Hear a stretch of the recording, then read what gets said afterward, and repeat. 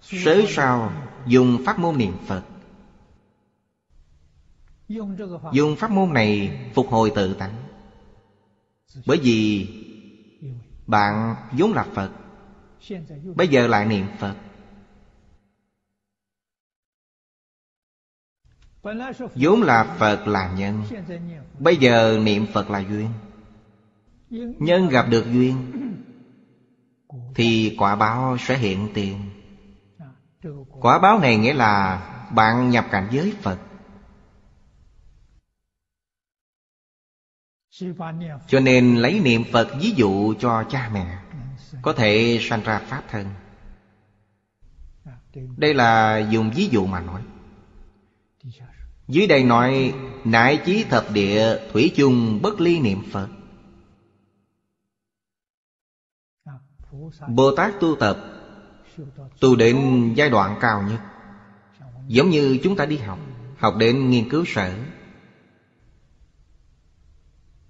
Học lên tiến sĩ.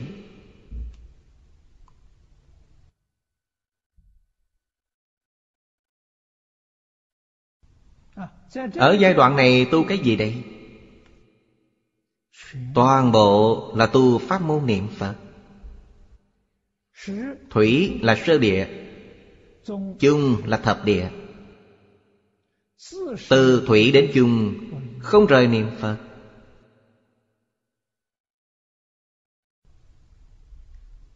Chúng ta coi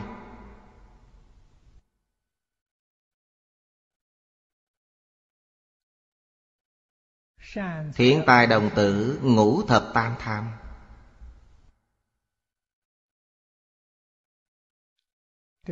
Thập địa thủy chung không rời niệm Phật, Chính là nói về ngũ thập tam tham. Vị thiện tri thức đầu tiên Mà thiện tài đồng tử tham vấn Là kiết tường dân tỳ kheo. Chúng ta thấy trong tứ thập quan nghiêm.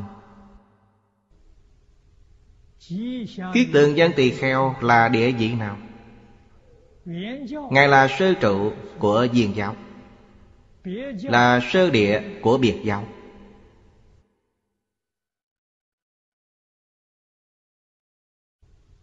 Ngài tu pháp môn niệm Phật. Ngài tu ban châu tam muội. Chuyên niệm Phật A-di-đà Cầu sanh thế giới cực lạc.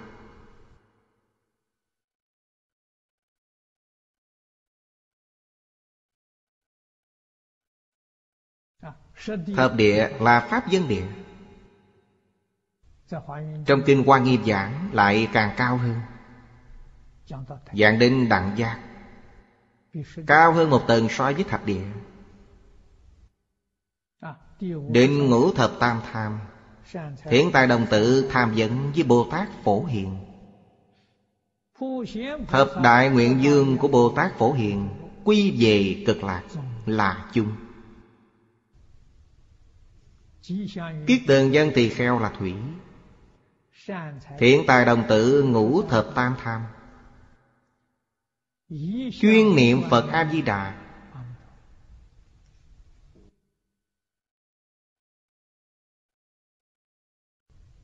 Không sai chút nào. Trong đó tuy phải trải qua năm mươi mốt tầng lớp Quán học đa văn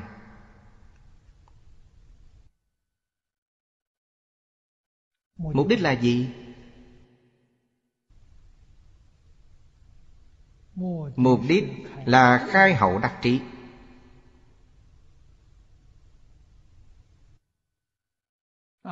Hậu đắc trí là gì? Là vô sở bất tri Ngài đi tham vấn. Tham học khắp nơi. Khắp nơi quan sát. Khảo sát, học tập. Vô sợ bất tri. Đã làm để cho chúng ta thấy. Vô tri và vô sợ bất tri. Cùng một lúc, cùng một nơi thực hiện. Cái này hay quá. Vì sao có thể cùng một lúc cùng một nơi vậy? Vì tướng có tánh không? Có là huyện có Không là chân không? Nó không chứa ngại. Lý sự vô ngại Sự sự vô ngại Cảnh giới này ở đâu vậy? Ở ngay trước mặt chúng ta. Vì sao chúng ta không biết được? Vì chúng ta mê. Làm sao lại mê? Vì bạn có tự tư tự lợi. Bạn có ngã kiến. Bạn có ngã chấp. Có pháp chấp, có phân biệt Có vọng tưởng. Chính là ngay đây. Chỉ tiếc bạn không thấy được.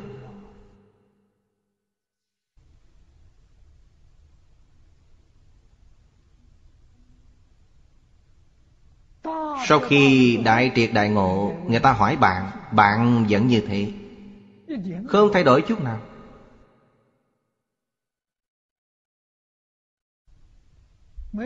Khi chưa ngộ là như vậy.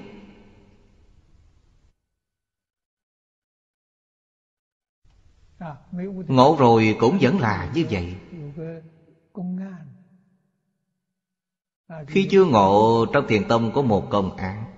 Đó là một câu chuyện nhỏ, Rất có ý nghĩa. Khi chưa ngộ, Thấy núi là núi, Thấy nước là nước.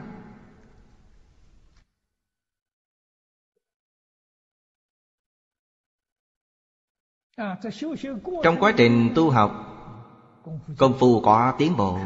Thì thấy núi chẳng phải là núi, Thấy nước chẳng phải là nước. Sau khi đại triệt đại ngộ, Thì thấy núi vẫn là núi, Thấy nước vẫn là nước.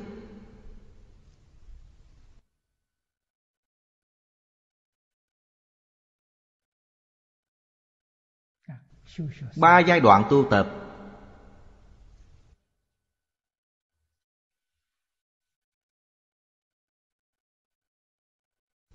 Nói lên, trước khi chưa ngộ, Mê mà không giác.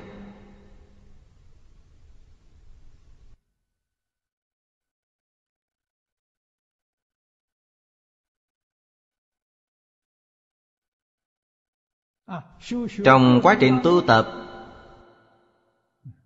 Giác mà không mê.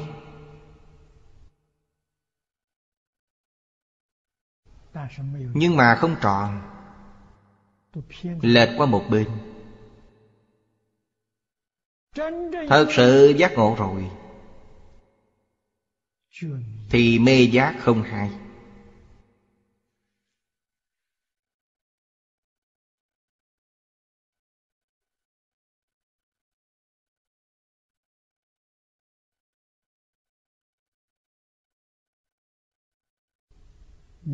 Mê ngộ là một là một việc.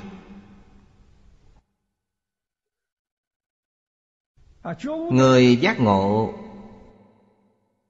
hiểu rõ chân tướng sự thật.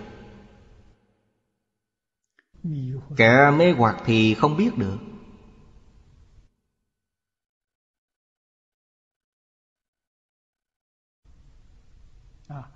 Cũng sống qua một đời.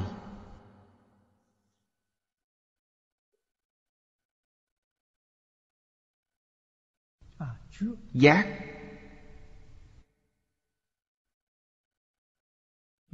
Không phải là việc khó.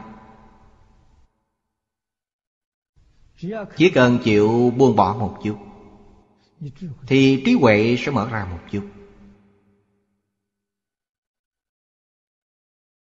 Chưa chứng được viên giác thì vẫn còn tạo nghiệp.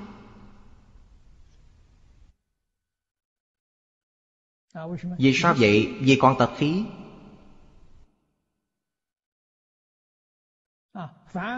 Tập khí tiền nào vẫn khởi tác dụng. Cho nên vẫn còn tạo nghiệp. Tuy tạo nghiệp Tuy chịu quả báo Nhưng giác ngộ nhanh hơn người khác. Tuy thọ quả báo Nhưng giác ngộ rồi thì có thể chuyển đổi được. Chỉ cần Chuyển mê thành ngộ. Trong môi trường thực tế, Bạn có thể chuyển khổ thành vui. Ngày nay chúng ta nói, Người này có thể hóa giải được tai nạn. Nếu là mê thì bạn phải chịu tai nạn. Sau khi giác ngộ Thì có thể hóa giải được tai nạn. Triệt để giác ngộ Thì tai nạn không còn nữa.